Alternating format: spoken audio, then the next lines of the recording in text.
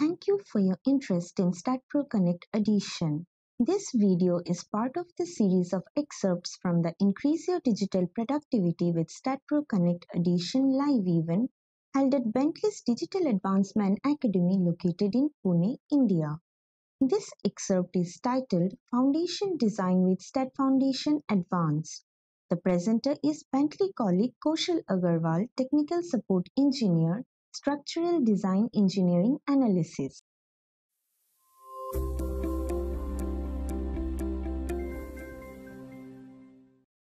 Perfect. So I'm going to talk about first of all the uh, the part where actually the the Chris has uh, you know uh, has to be there here to present the STAAD foundation, but uh, unfortunately he's not able to come. So I I am I'm just uh, replacing uh, Chris on on Chris' behalf. So just before Abhijit talked about some of the you know the the foundation design module. Even in the RCDC, he shared that you know there are some modules available that actually can design foundations, and he also shared in the last part that you know RCDC FE can can do the uh, do the MET design. But of course, you know from uh, from like uh, from decades, we have a product also which we call as the STAAD Foundation Advanced, which is actually coming really well. And I'm here to share more on what are the updates, what are the enhancements in that particular product over the recent years so that we can, you know, we, we can come to the same lines as uh, what is available to us is in the form of the STAAD Foundation Advance. But let me introduce the product uh, in just in a quick manner here. So STAAD Foundation Advanced is is a module that uh, you know can even take the uh, the inputs from the STAAD file as you can see over here can input can take input or even from the from the XLS files or probably from other analysis results you can just import the results directly from uh, you know the in an Excel file. It has three uh, modules or I would say in mode general mode plant mode and toolkit mode and uh, let me uh, let me just go through one by by one so that we can have a little detail on that. It has a good uh, you know facility in giving you the good calculation sheet, detailed calculation sheet, and, uh, also some of the uh, drawings production can be done over the uh, STAAD Foundation. So the STAAD Foundation journal mode actually can you know design the isolated footings, combined footings, pile cap footings, mat footings, and also octagonal and stack footings. Now, the important part here, which probably uh, you know as a as a user I would I would note is that you know with STAAD Pro as in standard version, the STAAD Foundation Advanced limited version comes along with STAAD Pro as an entitlement, okay, and which makes you able to design the isolated, combined, and the pile caps from this module okay? I i just want to remove the confusion again. In in the previous versions of STAAD actually we had one module called STAAD.foundation that actually got installed by itself with the V8i versions even with let's say select series 4 select series 5 or select series 6 so we just deprecated that STAAD.foundation totally. It's what we are uh, are now offering the STAAD Foundation Advanced in two formats. One is in the limited version, which actually is an entitlement of your STAAD.Pro license. And also the uh, the STAAD Foundation Advanced module which can actually design the the journal footings as well as the plant footings. That is not part of the uh, the entitlement of the STAAD.Pro, but it is a part of uh, the advanced module. Also, we have some, you know, uh, the plant footings, which probably can interest, um, uh, maybe an area of interest. Uh, the vertical vessel foundations, horizontal vessel foundations, the tank foundations, and little drill pair analysis. So uh, particularly there are a lot and lot more enhancements has been done over plant module, particularly the uh, vertical vessels in that, you know, the, the codes which actually allows you to calculate the loadings for vertical vessel or horizontal vessel, those are PIP codes, the PIP codes. And those STAAD Foundation functionality is is that you know you can calculate those loads as per PIP codes, but of course you can design those foundations as per your you know Indian design code philosophy. So that is a part where you know we we enhanced, and I'll just share some of some of the more enhancements. There's one more mode which we call as a toolkit mode. If you if you want to check some of the you know the the foundations very very quickly. Just define some of the loads inside STAAD Foundation advance and it will check the capacity uh, and and give you the quick quick design of uh, of the foundations. Recent enhancements, as I said, for, for particularly the uh, in the plant mode, we had you know several enhancements. One of them, and the uh, the enhancement is the wind and seismic calculation for vertical vessels. So as per Indian standards. So that was missing uh, before, but it is not available. It, it is now available. So you can calculate the wind and seismic, you know, forces for the vertical vessel foundations. Just probably I'll just open a model and show it to you as well. And uh, in the tank foundations, we have added the uh, the sliding and the overturning checks that uh, the STAAD Foundation was missing, and uh, this is, has been added. So now you can you know get the sliding and overturning check for the for the tanks. There are some more enhancements actually on on the general foundations part as well, like the isolated footings, combined footings, and and even on the mat. So now we have the uh, the sliding and the overturning checks even for the mat foundations. This was a complicated decision because no code actually allows you to or, or gives the specifications using which you can do the sliding and the overturning check for a MET. Okay, so we actually followed a uh, research paper uh, and it has been given in the uh, STAAD Foundation help so that you can look through what are the philosophy we are following uh, using which we are doing these checks for a MET. That's more important. So we have given the, the method inside the help so you can have a look at that. Course, you know, we can uh, you know, export out the data of the STAAD Foundation Advanced in the form of an ISM and then can export into the IFCs. So we are better collaborating with, with the workflows of you know the, the building information modeling. So that is a part uh, you know where the the program actually also excelled. There are some upcoming enhancements inside SFA. Apart from you know there's lot and lot more much work has been done over defect mitigations inside SFA. The implementation of ACI 318 2014 code uh, that is an American uh, concrete design code. Latest Chinese design code probably not you know uh, may not uh, be you know very I would say uh, a, a, very good news or probably a, news for, for the Indian audience, but still, you know, uh, there are some uh, there are some you know users who need the Chinese design code to be available so that they can actually give the inputs inside inside SFA in the form of an English uh, and as an English language and can generate the outputs in the form of the Chinese language. So SFA is not is now able to do it. So this is something as a functionality has been added, so which means that it opens the market, uh, the Chinese market for for for the Indian uh, Indian consultants. You can work within within your language and but can give outputs in the form of you know what they want at at, at the site. Soil excavation quantities, quantity of steel, concrete that was not being reported earlier. So the BOQs can be generated. Uh, and uh, there is, you know, uh, a lot more work done over the passive pressure contribution to stability of the foundations. This was actually been requested by several of the uh, of the users that uh, we actually want to consider the passive earth pressure that actually been applied by the soil. So as we as we consider that, you know, that in the in the cases of the sliding, what happens is that, you know, if I consider the footing as a wall. So wall is moving towards the soil, and of course it is applying the passive pressure on the soil. So that passive pressure can be actually applied as a as a stability factor.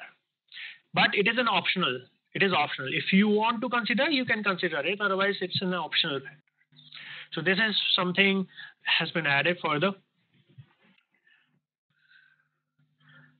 And before i i go uh, uh, you know inside the details of the uh, right so if, before i go into the details of the the merging because as I said, at this point of time, we have RCDC, uh, which does isolated and, uh, and pile caps. We have RCDC FE, which you just saw, which can do the mat footings. I just introduced you with the STAAD Foundation Advanced, which can do isolated, combined, it can do mat, it can do plant as well. So at this point of time, we have several, you know, I would say there are three applications and there are some overlaps there are some overlaps within three applications. So before I explain, you know, what what actually we, our focus is towards, you know, taking that into account and to you know uh, you know what is our focus. Let's let's look at a model from STAAD and I'll just try to export it into the STAAD Foundation Advanced. Uh, let's look at that as in workflow. So this model, I think it's already analyzed. I can just click on the foundation design over here. That will fire up the application over here. You can see that I can uh, you know, export all the supports.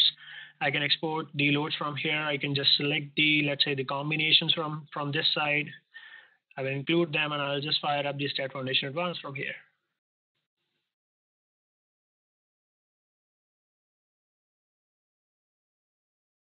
The best part is that there is no manual interface. Directly, the support uh, reactions can be transferred directly to these uh, STAAD Foundation Advanced.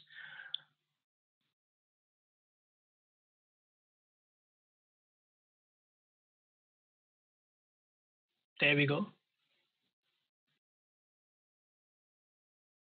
Okay, some parts I need to explain over here. If somebody has used this before, uh, this program before, we probably need to identify the load cases over here, you know, which are the load cases, which are the strength load cases and which are uh, service load cases. It's an easy procedure now. So I can just click on the first of the load case and just define, let's say till 125, holding down my shift key, I can uh, click on that and just say that these are my ultimate load cases and batch apply that.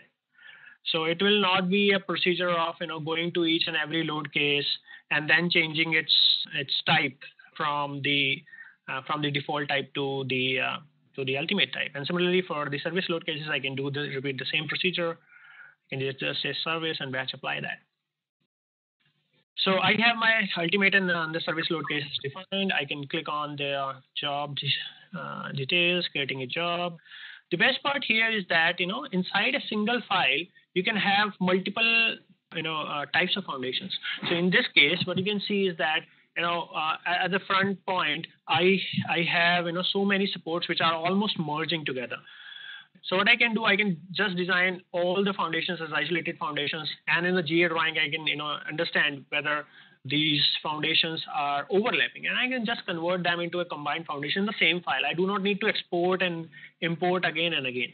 So that is uh, one of the uh, the uh, the important I would say uh, the best part. Like just create a, a, a job here for the workflow shake. I will use uh, the Indian design course from here, SI units, assigning to all the sports and covering up all the load cases and creating the job. Design parameters, I need to define the concrete and the steel parameters over here, cover and the soil parameters. Uh, here I'll define and the bearing capacity of the soil is 120. I'll just make it as 150 and footing geometry. So inside footing geometry, we have a new logic of equal projection so that, uh, you know, if your column dimension or the pedestal dimension is of rectangular so that the projections uh, that actually came out for the footing is is of the same order so that uh, you know the equal projections has been added over here and sliding over to new factors and I'll click on the design.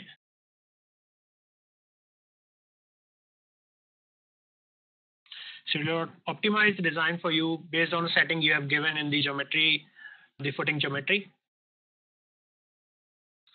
So so here in the output, as if you can see over here in the output, it's giving the iterations and the number of iterations it is running. And just like STAAD, we can see the uh, the analysis file running. We can see the iterations, how many iterations it has gone through, which of the footing sites it has checked and which has not been passed by by which of the checks. You can have a look at this uh, this run file to understand, you know, what are the what are the uh, the footing sizes has been already checked and uh, you know that kind of uh, series of input can we can be you know found over here. So I'll just wait for it to complete.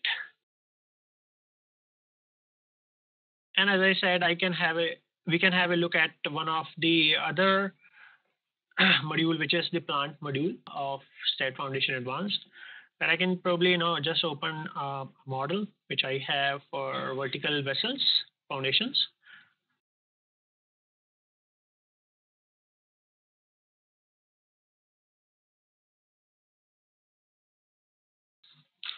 So there we go. Here we go. Uh, with the vertical vessel foundations. And as, I, as, as you can see, I can define the unit uh, system, which is the SI, because I've selected the, the Indian design code. If I, I have US design code also, so in case of US, I can select between the English and the SI units if I want to. Uh, let's go ahead with Indian and uh, I can click on the next button. Here I will define the geometry of the vertical vessel for it to calculate the self-weight criterias. Uh, let's click on next where I'll define the geometry. And uh, here we actually define the empty load and the operating load and the test loads from the for the vertical vessel. Now here is the actually the uh, the enhancement actually came came in regarding the program calculated wind load. It was not there before as far the uh, the IS code was concerned, but it is now available. So you can just give it the the parameters here, and it will actually do the work for you. Similarly, you know I can just say the for the time period calculations, I can just say uh, it's a program calculated, or I can input those parameters. Similarly, in the case of the seismic loads, I can come up here and say that I want to use the seismic zone selections as per Indian code. So you can see that you know I can select uh, uh, I can select the city as in you know as as as what we can do with uh, with this type pro program. So city and the soil type and all that thing I can select from here, and uh, then I can you know go ahead. So let's click on next and the load combinations can be defined as per ASCE 7 or the PIP codes or as per the Indian codes. And then I'll say edit and let's go ahead and design it.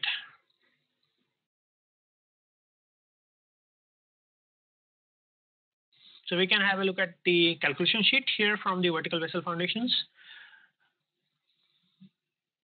where the uh, first of all the the information regarding the load calculation will be given uh, the wind calculation, the seismic calculations, and the load combinations, and then the footing will be designed. Right, let me also have a look here. Okay, still processing is going on. Okay, by the time it completes it, let me complete this part here regarding the upcoming foundation design solution. So I, I, said that you know there is an uh, effective overlap between three programs designing you know some foundations.